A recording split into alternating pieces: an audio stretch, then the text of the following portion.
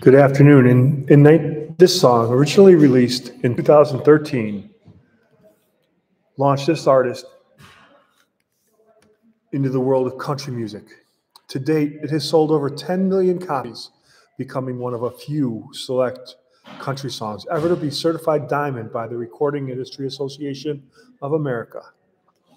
Now, a big hint to begin this first day of Black History Month. Just for today, here's the hint for you.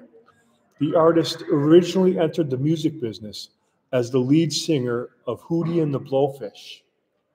Now, all people that respond correctly with the artist and title of the song before 3 o'clock each day will earn points toward the end of the month prize. Here is today's song.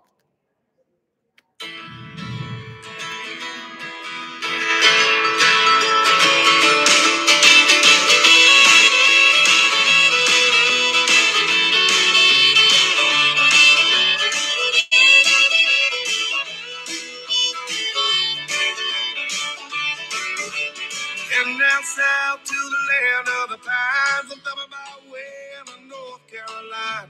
Staring up the road and pray to God I see headlights. I made it down the coast in 17 hours, picking me a bouquet of dogwood flowers, and I'm hoping for Raleigh I can see my baby tonight.